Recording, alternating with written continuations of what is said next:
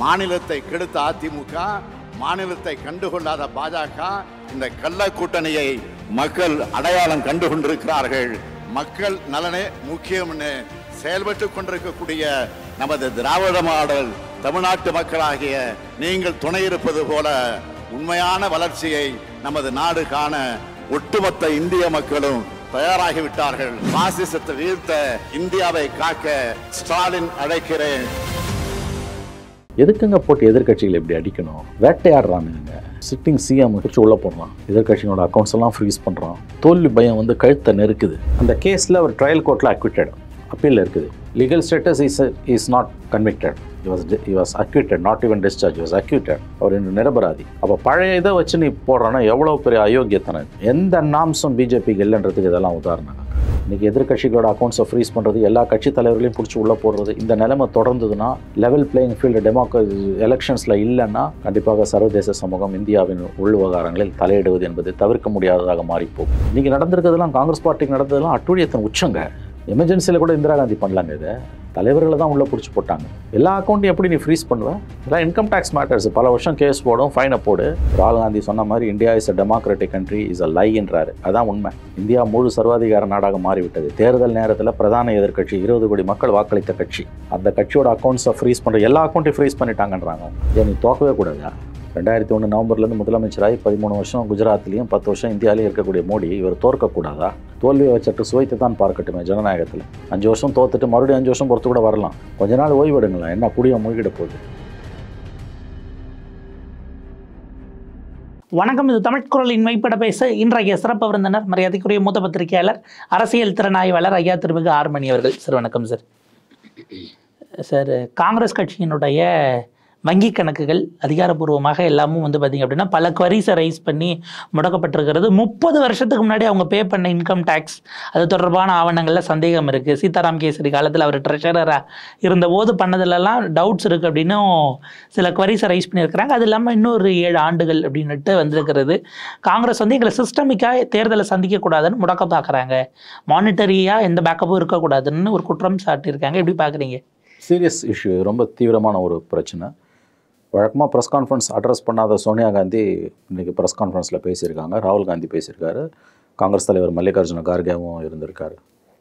நீங்கள் சொன்னது போல் தொண்ணூற்றி நாலு தொண்ணூத்தஞ்சு சீதாராம கேசரி காலத்தில் இருந்த அக்கௌண்ட்ஸில் ரிட்டர்ன்ஸில் பிரச்சனைன்னு முப்பது வருஷம் பொறுத்து எடுக்கிறாங்க. இதெல்லாம் வந்து இயற்கை நீதிக்கு எதிரானது. உலக சர்வதேச சமூகம் இந்தியாவின் முகத்தில் காரி உமிழும். மோடி அரசின் முகத்தில் காரி உமிழும். இது இது வந்து பனானா ரிப்பப்ளிக்ஸ்னு சொல்லக்கூடிய பெயரளவில் ஜனநாயகம் இருக்கக்கூடிய டின் பார்ட்ஸ் ரெஜிம்ஸ்னு சொல்லக்கூடிய சர்வாதிகார நாடுகளில் தான் இது நடக்கும். ராகுல் காந்தி சொன்ன மாதிரி India is a democratic country is a லைன்றாரு அதான் உண்மை. இந்தியா முழு சர்வாதிகார நாடாக மாறிவிட்டது. தேர்தல் நேரத்தில் பிரதான எதிர்க்கட்சி இருபது கோடி மக்கள் வாக்களித்த கட்சி. அந்த கட்சிக்கு கடந்த தேர்தலில் இருபது கோடி மக்கள் வாக்களித்திருக்காங்க காஷ்மீர்லேருந்து கன்னியாகுமரி வரைக்கும். அந்த கட்சியோட அக்கௌண்ட்ஸை ஃப்ரீஸ் பண்ணுற எல்லா அக்கௌண்ட்டையும் ஃப்ரீஸ் பண்ணிட்டாங்கன்றாங்க அவங்க. அது எது எருமாட்டு மேலே மழை பெஞ்ச மாதிரி இந்தியாவோட நீதிமன்றங்களும் எலெக்ஷன் கமிஷனும் சிவில் சமூகமும் அமைதியாக இருக்குது. இது அழிவை நோக்கி இந்தியா நகருதுன்றதுக்கு இதெல்லாம் சரியான உதாரணங்கள். பேசுவதற்கு வார்த்தைகளே இல்லை. பிரதான எதிர்கட்சியோட வங்கி கணக்குகள் எல்லாத்தையும் முடக்கிறதும் முப்பது வருஷத்துக்கு முன்னால் ரிட்டர்ன்ஸ் ஃபைல் பண்ணல கோளாறுன்னு பேசுகிறதும் எவ்வளவு ஒரு அயோக்கியத்தனமான அரசியல். ஆகவே இந்திய ஜனநாயகம் செத்து கொண்டிருக்கிறது என்பதற்கு இந்த சம்பவங்கள் எல்லாம் சரியான சாட்சியங்களாக இருந்து கொண்டிருக்கின்றன. இன்னைக்கு எலெக்ஷன்ஸ் ஆர் காஸ்ட்லி அஃபேர்ஸ் அப்படின்னு நீங்கள் எப்பயுமே குறிப்பிடுவீங்க. ஃபினான்ஷியலி சோக் பண்ணிட்டோம்னா வி ஆர் தேர் அந்த வெற்றி கொட்ட தொட்டர்லாங்கிற இடத்துக்கும் அவங்க வராங்க மோடி அப்படி தான் நினைக்கிறார். அவரால் தோல்வியை ஜீரணிக்க கூட முடியவில்லை. தோத்து போனால் மோடி என்ன ஆவார்? வெற்றியும் தோல்வியும் சகஜம் வாழ்க்கையில். ரங்கராட்டினம் வாழ்க்கை என்பது ரங்கராட்டினம். மேலே இருக்கவன் கீழே வரதும் கீழே இருக்கவன் மேலே போகிறதும் அதுவும் தேர்தல் ஜனநாயகத்தில் ரொம்ப சகஜம் அது. ஏன் நீ தோக்கவே கூடாதா? ரெண்டாயிரத்தி ஒன்று நவம்பர்லேருந்து முதலமைச்சராகி பதிமூணு வருஷம் குஜராத்லேயும் பத்து வருஷம் இந்தியாவிலையும் இருக்கக்கூடிய மோடி இவர் தோற்கக்கூடாதா? தோல்வியை வச்சுட்டு சுவைத்து தான் பார்க்கட்டுமே ஜனநாயகத்தில். அஞ்சு வருஷம் தோத்துட்டு மறுபடியும் அஞ்சு வருஷம் பொறுத்து கூட வரலாம். கொஞ்ச நாள் ஓய்வெடுங்களேன். என்ன குடிய மூழ்கிட போகுது? பதவி இல்லை என்றால் மோடி என்ன செய்வார்? பத்தாண்டுகள் பிரதம மந்திரியாக இருந்த டாக்டர் மன்மோகன் சிங் பத்தாண்டுகள் பிரதம மந்திரியாக இல்லாமல் இன்று ஒரு கண்ணியமான வாழ்க்கையை வாழ்ந்து கொண்டிருக்கிறார். பதவி இல்லை என்றால் இந்த கண்ணியமான வாழ்க்கை எல்லோராலும் மதிக்கப்படக்கூடிய ஒரு வாழ்க்கை. இப்போ இருக்க ஒரு கிடைக்குமா? இதை நினைத்து பார்க்க வேண்டும். ஏன்னா முன்னாள் பிரதமர் என்பது தான் நிரந்தரம். பிரதமர் என்பது நிரந்தரம் கிடையாது. எதுவும் நிரந்தரம் கிடையாது எதுவும் சாஸ்வதம் கிடையாது. ஞாபகம் வச்சுக்கோங்க. ஒரு நொடியில் எல்லாம் மாறிடும். ஒரு க்ஷண நேரத்தில் எல்லாமே வந்து தலைகீழ மாறிடும். யாரும் நிரந்தரம் இல்லை எதுவும் நிரந்தரம் இல்லை. நிரந்தரம் இல்லை என்பது ஒன்று தான் நிரந்தரமானது.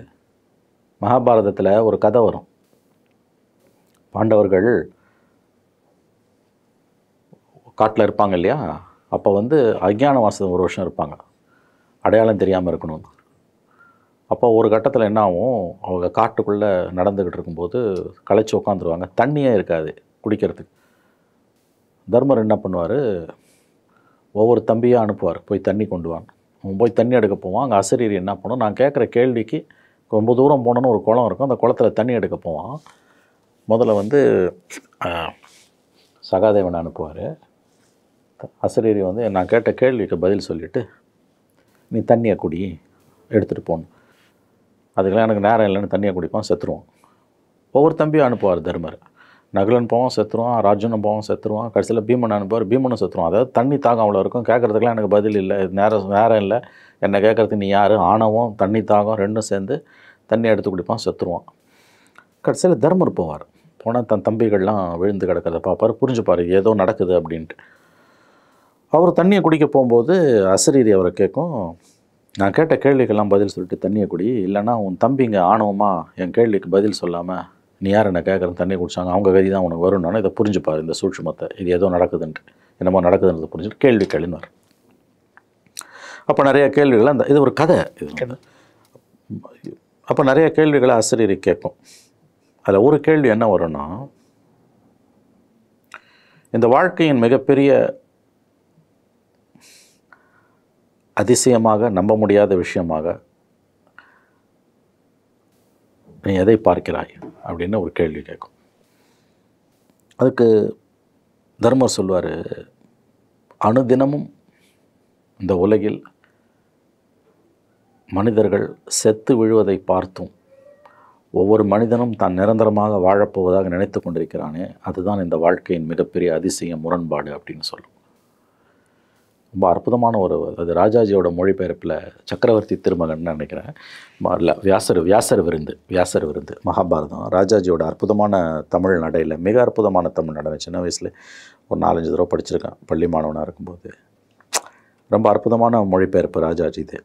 மொழி ஆடல் மொ- சொல்லாடல். அதில் அவர் எழுதுவார் இந்த வாழ்க்கையின் மிகப்பெரிய அதிசயமாக எதை பார்க்கிறான் அனுதினமும் தன்னை சுற்றி மனிதர்கள் புழுக்களைப் போல் செத்து மடிவதை பார்த்தும் ஒவ்வொருவனும் தான் ஆயிரம் தான் நிரந்தரமாக வாழப்போவதாக நினைத்து கொண்டிருக்கிறானே. அதுதான் இந்த வாழ்க்கையின் மிகப்பெரிய அதிசயம் அப்படின்னும் கடைசியில் உன்னுடைய பதில்களை கண்டு நான் மெச்சினேன் உன்னுடைய தம்பிகளை உயிர்ப்பிக்கிறேன்னு. இது ஒரு கதை. It's a moral of the story வந்து அந்த காலத்திலேயே வந்து epics Mahabharata is a very big epic கிளை கதைகளே ஒரு லட்சம் கதைகள் இருக்குது.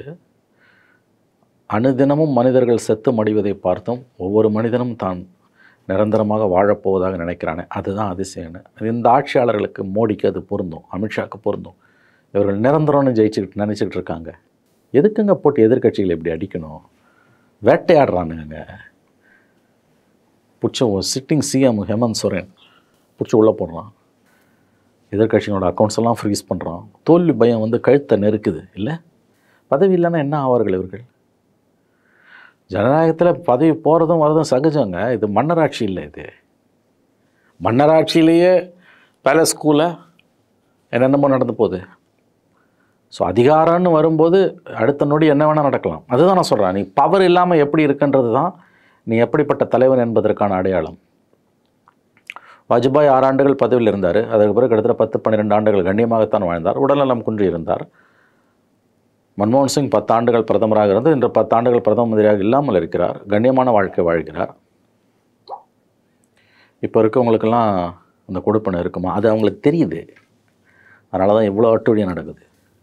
பிரதான எதிர்க்கட்சி எழுபத்தைந்து ஆண்டுகளில் இந்தியாவில் அறுபது ஆண்டுகள் ஆண்ட கட்சி நூற்றி நாற்பது ஆண்டுகளில் பாரம்பரியமிக்க கட்சி. கடந்த தேர்தலில் அதை அளவுகோலாக வைத்தால் இருபது கோடி வாக்காளர்கள் அவர்களுக்கு வாக்களித்திருக்கிறார்கள்.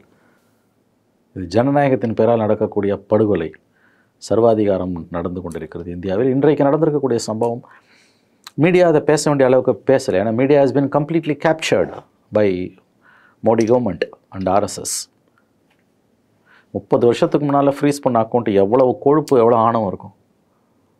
ஐ திங்க் இப்படியே போச்சுன்னா எனக்கு என்ன தோணுதுன்னா அவ்வளவன் at some point of time international community சர்வதேச சமூகம் இந்த விவகாரங்கள் குறித்து பேச ஆரம்பிக்கும்.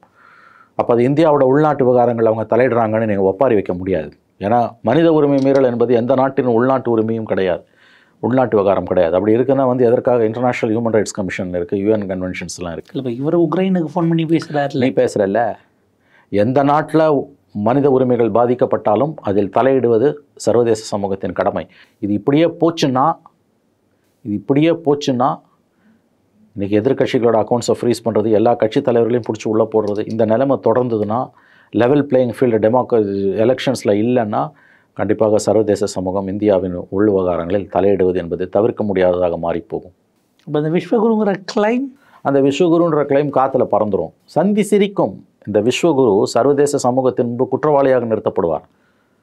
அந்த நாட்கள் வெகு தொலைவில் இல்லை. இது இப்படியே தொடர்ந்தால். இது இப்படியே தொடர்ந்தால் விஸ்வகுரு சர்வதேச சமூகத்தின் முன்னால் குற்றவாளியாக நிறுத்தப்படுவார். பினோஷிய மாதிரி.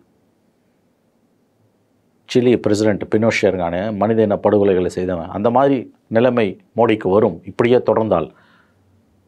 என்ன அட்டுழியம் நடக்குது? எல்லா இன்ஸ்டியூஷன்ஸையும் கேப்சர் பண்ணிட்டானுங்க. ஒட்டிகிட்டு இருக்கிறது கொஞ்சோண்டு சோத்து பறக்க கழுவுன பாத்திரத்தில் ஒட்டிக்கிட்டு இருக்க மாதிரி ஓரிரு சோற்று பொறுக்கைகள் ஒட்டி கொண்டிருப்பது போல் கடைசியாக இருக்கக்கூடிய ஒரே இன்ஸ்டியூஷன் ஜுடிஷியரி அது எவ்வளோ நாளைக்கு இருக்க போகுதுன்னு தெரில இன்றைக்கி நடந்திருக்கிறதுலாம் காங்கிரஸ் பார்ட்டிக்கு நடந்ததெல்லாம் அட்டுழியத்தின் உச்சங்க. எமர்ஜென்சியில் கூட இந்திரா காந்தி பண்ணலாங்க இதை. தலைவர்களை தான் உள்ளே பிடிச்சி போட்டாங்க. எல்லா அக்கௌண்ட்டையும் எப்படி நீ ஃப்ரீஸ் பண்ணுவ? இதெல்லாம் இன்கம் டேக்ஸ் மேட்டர்ஸ் பல வருஷம் கேஸ் போடும் ஃபைனை போடு. இவங்க எதிர்க்கட்சிங்க அக்கௌண்ட்ஸை ஃப்ரீஸ் பண்ணுறது இவங்க அக்கௌண்ட்ஸை யாருக்கும் கணக்கு காட்டுறதே கிடையாது. இதை இன்றைக்கி ஸ்டேட் பேங்க் கொடுத்துட்டான் சுப்ரீம் கோர்ட்டில் எல்லா இன்ஸ்டியூஷன்ஸும் கொலாப்ஸ் ஆகிட்டு இருக்குங்க இந்தியாவில் Indian democracy is facing a severe existential crisis with increasing quantum of multiple organ failures this a fact sad fact ஆகவே செவன்ட்டி ஃபைவ் இயர்ஸ் முடிஞ்சு செவன்ட்டி சிக்ஸ்த் இயர் ஓடிட்டுருக்கு டெமோக்ரஸி உங்கள் ஜனநாயகம் நூறு வருஷம் தாங்குமான்னு தெரில வெள்ளக்காரன் இரநூறு வருஷம் ஆண்டான். அவனே மேல் என்ற எண்ணத்தை சாமானிய மனிதனின் மனதில் இவர்கள் விதைத்து கொண்டிருக்கிறார்கள். The question is whether Indian democracy will survive for next twenty five years and celebrate it centenary தெரியல. இப்படியே போச்சுன்னா அது வந்து ஹண்ட்ரட் இயர்ஸ் தாங்குமான்னு தெரில எவனும் ஆண்டான் இந்தியாவை. கடைசியாக வெள்ளக்காரன் ஆண்டான். அவன் விட்டுட்டு போய் இரநூறு வருஷம் ஆண்டுட்டு அவன் விட்டுட்டு போய் எழுபத்தஞ்சு எழுபத்தாறு வருஷம் ஆகுது. இது நூறு வருஷம் தாங்குமான்னு தெரியலன்னு என் பிளம்பர் சொல்லுவார். அதான் உண்மை இன்றைக்கி இதை பார்க்கும்போது அதான் தோணுது. ஏன்னா இன்றைக்கி நடந்ததெல்லாம் அட் அட்டுழியத்தின் உச்சம். மீடியா பாருங்கள் அது எவ்வளோ தூரம் வந்து அண்டர் ப்ளே பண்ணிகிட்ருக்கான் பிரதான எதிர்க்கட்சி அக்கௌண்ட்ஸ் எல்லாம் ஃப்ரீஸ் பண்ணிட்டாயான்னு கதறான். Press conference Sonia Gandhi address பண்ணதே கிடையாது. அவங்களோட ஃபெயிலிங் ஹெல்த்து அதுக்கு ஒரு முக்கிய காரணம். இன்றைக்கி வந்து கதறாங்க அவங்க. காங்கிரஸ் பார்ட்டி கதறுது மக்களிடம். இது மிகப்பெரிய சவால். அதை ஐ திங்க் நான் தான் சொல்கிறேன் இது இப்படியே போச்சுன்னா எண்ட்லெஸ்ஸாக போச்சுன்னா அப்போசிஷனை தூக்கி உள்ளே போடுறது ஃபினான்சஸை சோக் பண்ணுறது எல்லா இன்ஸ்டியூஷன்ஸையும் கேப்சர் பண்ணுறது ஜுடிஷரியை இன்டிமிடேட் பண்ணுறது எந்த ரூல்ஸும் இந்த ரூலர்ஸுக்கு அப்ளை ஆகலை. இது இப்படியே போச்சுன்னா அட் சம் ஸ்டேஜ் சர்வதேச சமூகம் இந்தியாவின் உள் விவகாரங்களில் தலையிடுவது என்பது தவிர்க்க முடியாததாக மாறிப்போகும். ஆனால் அதை எப்படி திருப்புவாங்கன்னா அதை வந்து நேஷ்னலிஸ்ட்டுக்கு சேலஞ்சாக திருப்புவாங்க. விஸ்வகுருக்கு ஏற்பட்ட ஆபத்து இல்லை இது இந்தியாவுக்கு ஏற்பட்ட ஆபத்துன்னு ஃபால்ஸ் ப்ரைட்ஸை இப்போதைக்கு அதை தானே செஞ்சிட்ருக்காங்க. ஏற்கனவே ஆப் இந்தியா போன்ற இணையதளங்கள் அதானி ஹிண்டன்பர்க் சம்பந்தமாக யூஎஸ்ல ஆரம்பிச்ச உடனே மோடிக்கு குறிவைக்கிறார்கள் அரசின் மீதான. விமர்சனங்கள் தனிநபர்களின் மீதான விமர்சனங்களாக திருப்பப்படும். அரசாங்கத்தின் மீதான அத்தனை விமர்சனங்களும் தனிநபர்களின் விமர்சனங்கள் மீதான விமர்சனங்கள் திரும்ப திருப்பப்படும். அவர்கள் உயிருக்கு ஆபத்து இருக்குன்வாங்க அவர்களுக்கு எல்லா விதமான பிரச்சனைகளும் இருக்குன்னுவாங்க. அவர்கள் குறிவைக்கப்படுகிறார்கள் ஃபிசிக்கலாக அவங்களுக்கு த்ரெட்டுன்னு கதை அளப்பானுங்க எல்லா சர்வாதிகாரிகளும் என்ன செய்வாங்களோ அதை செய்வாங்க. தங்களுக்கு வரக்கூடிய எல்லா ஆபத்துக்களையும் இந்தியாவின் ஆபத்துக்களாக மாற்றுவார்கள். வாய்க்கிழியே பேசுவானுங்கல்ல மனித உரிமைகள் பற்றிலாம் எங்கே போனானுங்க அவனுங்கெல்லாம் இன்றைக்கி மீடியாலேயும் மீடியாவுக்கு வெளியிலையும். பிரதான எதிர்க்கட்சியோட அக்கௌண்ட்ஸ் எல்லாம் ஃப்ரீஸ் பண்ணுறான் எப்படா எலெக்ஷனை ஃபேஸ் பண்ணுவான் அவன்? இப்போ இது இந்தியா முழுக்க நியூஸாக போகுமாங்கிறதே கேள்வி. அதுதான் கொடுமை. அவன் ஃப்ரீஸ் பண்ணுறது ஒரு அவலன்னா அதை நியூ அவங்க கதறாங்க காலையில் உட்காந்து அது இந்தியா பூரா நியூஸாக போகுமானே நமக்கு தெரியல. அப்போ மக்களே சோற்றால் அடித்த பிண்டங்களாக மாறிவிட்டார்கள். Every institution has been captured insensitivity to the core கவலையே இல்லை. So are heading for a serious crisis தெரியல என்ன பேசுறதுன்னு கூட தெரியல. இதில் காங்கிரஸ் கட்சி எலெக்ஷன் கமிஷனில் ஒரு கம்ப்ளைண்ட் கொடுத்துருக்குறாங்க. டூ ஜி ஸ்கேம் அப்படின்னுட்டு ட்விட்டர் போன்ற சமூக வலைத்தளங்களில் ஆடாக கொடுத்துருக்கிறார்கள். அந்த அப்போ ஒரு லட்சத்து எழுபதாயிரம் கோடின்னு பேப்பரில் போட்ட அந்த கட்டிங்கோட ஆராசா புகைப்படமெல்லாம் வச்சு காங்கிரஸ் கட்சிக்கு எதிரான ஒரு பிரச்சாரம் திமுகவுக்கு எதிரான பிரச்சாரம்னு ஒரு ஆடு கேம்பெயினே நடக்குது. இதுக்கு எதிராக நீங்கள் நடவடிக்கை எடுக்கணும் அப்படின்னு கொண்டு போயிருக்கிறாங்க. கன்விக்ட் ஆகாத கேஸ் வெளியில் வந்த கேஸ் அஃப்கோர்ஸ் அது அப்பீல் இருக்கனாலும் ஸ்டேட்டஸ் கோ வேறு தான் ஆனால் அதை ஆட் கேம்பெயினாக நடத்துவது அப்படிங்கிறது எப்படி பார்க்க- இப்போ typical Goebbelsian campaign typical Goebbels campaign குறைஞ்சபட்ச தர்மம் கூட பிஜேபிக்கு இல்லைன்றதுக்கு இது உதாரணம். அந்த கேஸில் ஒரு ட்ரையல் கோர்ட்டில் அக்விட்டட் அப்பீல் இருக்குது.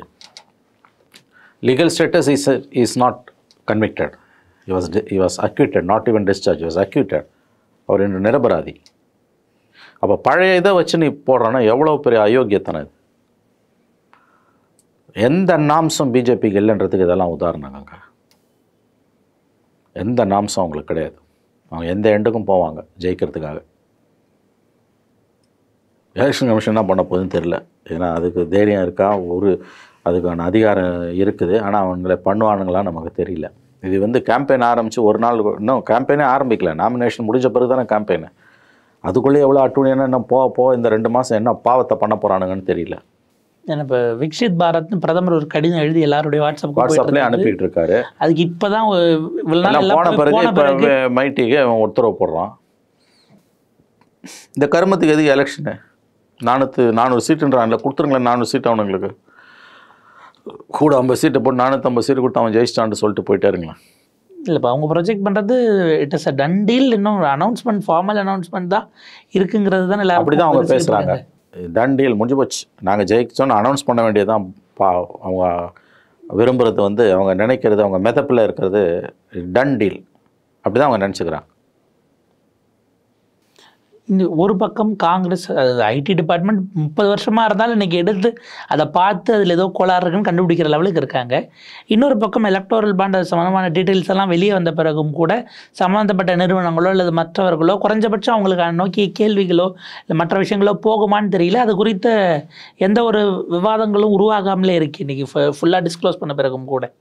இது என்ன வரும்னு இப்போ இவ்வளோ கொடுத்தான் இவ்வளோ கொடுத்தான்னு வந்தால் கூட இவனுங்க என்னத்தை பேசுவானுங்கன்னு நமக்கு தெரியல. ஏன்னா media completely captured independent India ஹிஸ்ட்ரியிலே இது கிடையாது. இது ஈவன் டியூரிங் எமர்ஜென்சி இப்படி இருந்ததில்லை. ஈவன் இன் எமர்ஜென்சி இப்படி இருந்ததில்லை. சென்சார்ஷிப்பை மீறி மீறி வந்தது. சென்சார்ஷிப்பை மீறி வந்தது. இப்போ இருக்க மாதிரியான டெக்னாலஜிக்கல் டெவலப்மெண்ட் அப்போ இல்லை. அப்போ அதை விட மோசமாக இன்றைக்கி மீடியா சப்சர்வியண்ட்டாக இருக்குது. கம்ப்ளீட்லி சப்சர்வியண்ட்டாக இருக்குது. கம்ப்ளீட் சப்சர்வியண்ட் இந்தியா டுடே மாதிரி ஆர்கனைசேஷன்ஸ் எமர்ஜென்சியில் ஃபைட் பண்ணவன் ராகுல் காந்தி பே இதில் ராஜீவ்காந்தி ப்ரெஸ் பில்லில் ஃபைட் பண்ணவங்க இந்தியன் எக்ஸ்பிரஸ் எமர்ஜென்சியில் ஃபைட் பண்ணவங்க எல்லாமே சப்சர்வெண்ட்டாக கம்ப்ளீட் சப்சர்வெண்ட்டாக இருக்காங்க. ஷெம்லெஸ் பீப்புள் வெட்டங்கட்டவர்கள் நினைச்சே பார்க்க முடியாத அவலாம் இது is all around decay captured every institution has been captured தன்னை கடவுளின் அவதாரமாக சொல்லிக்கொள்ளக்கூடிய ஒரு பிரதமர் காலடியில் விழுந்து கிடக்கக்கூடிய சிவில் சமூகம் ஊடகங்கள் என்ன பண்ணுவீங்க நீங்கள் எவ்வளோ ஆணவம் இருந்ததுன்னா எலெக்ஷன் டைமில் பிரின்சிபல் அப்போசிஷனோட அக்கௌண்ட்ஸை ஃப்ரீஸ் பண்ணுவோம் I think this very serious இஷ்யூங்க for which I think some stage நிச்சயமாக எக்ஸ்டர்னல் ஹெல்ப் இல்லைன்னா இந்தியாவில் டெமோக்ரஸியை ரிட்ரீவ் பண்ணுறது கஷ்டம் தான் எனக்கு தோணுது. ஐ ஜெனுவின்லி ஃபீல் வேறு என்ன வழி உங்களுக்கு? தென் அப்படி இல்லைன்னா what for international organisations exist of course in a peaceful manner இது என்னது இது? எப்படி எப்படி நீங்கள் ரெட்ரீவ் பண்ணுவீங்க நீங்கள் it's it's like it's like capturing a country inviting a country invasion from within democracy completely subs- uh, was uh, subverted, completely subverted. Every institution is captured.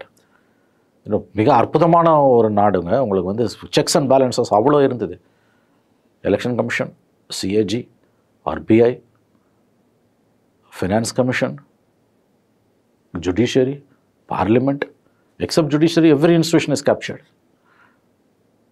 Uh, Where, what, what is left? And all in the name of democracy.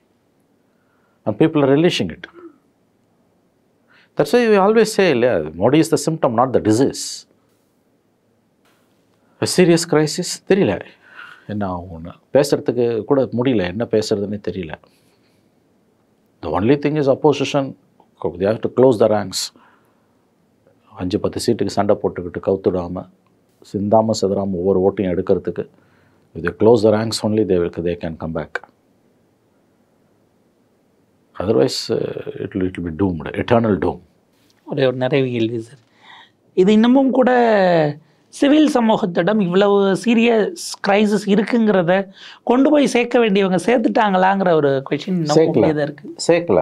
சேர்க்கல. Because main stream media is completely captured India against corruption காலமெல்லாம் அதெல்லாம் போயிடுச்சு. நீங்கள் social மீடியாவில் வந்து என்னதான் நீங்கள் எழுதுனீங்கனாலும் மெயின் ஸ்ட்ரீம் மீடியாவோட ரோல் இதில் மிகப்பெரிய role they're the opinion makers and social main stream media has been completely except two three to five பர்சன்ட்னு வச்சுக்கலாம். Except five percent ninety five percent it has been completely captured satellite media இன்னைக்கு satellite print எல்லாமே. பிரிண்ட்லயாவது கொஞ்சம் இருக்குது. பிரிண்ட்ல கொஞ்சம் இருக்குது. At least ten அடுத்த percent நாளாச்சும் இந்த எலக்ட்ரல் பண்ண விஷயம்லாம் ஆமாம் கொஞ்சம் பிரிண்ட்ஸில் பிரிண்ட்டில் ஒரு டென் பர்சன்ட் இருக்குது. Electronic media hundred percent what happen to NDTV last last hope was NDTV what happen to NDTV is the mind boggling இது complete dictatorship this is not a democratic country anymore ராகுல் காந்தி சொன்ன மாதிரி. இது ஜனநாயக நாடு இல்லை. இது ஜனநாயக நாடு இல்லை. இது ஜனநாயகம் இங்கே செத்துடுச்சு. இது கம்ப்ளீட் டிக்டேட்டர்ஷிப் இது வந்து. அண்ட் டிக்டேட்டர்ஷிப்னா ஒர்ஸ்ட் என்னென்னா நாட் அன் இண்டிவிஜுவல் டிக்டேட்டர்ஷிப் இது.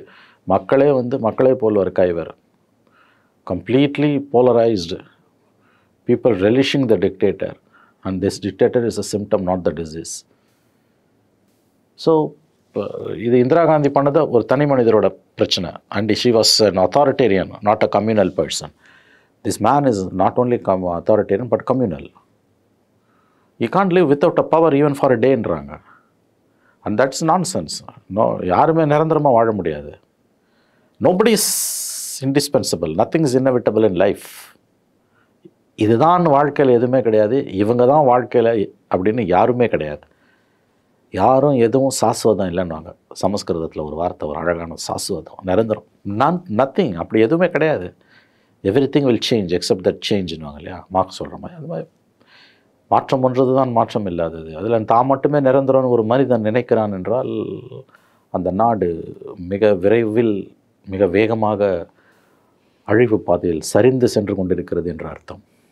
பார்ப்போம் சார் ஒரு விரிவான உரையாடல். எல்லா டைமென்ஷன்ஸ்லேயுமே எல்லாமும் சோக்காய் நிற்கக்கூடிய ஒரு இடம் தான் இன்றைக்கு எதிர்க்கட்சிகளுக்கு இருக்கிறது.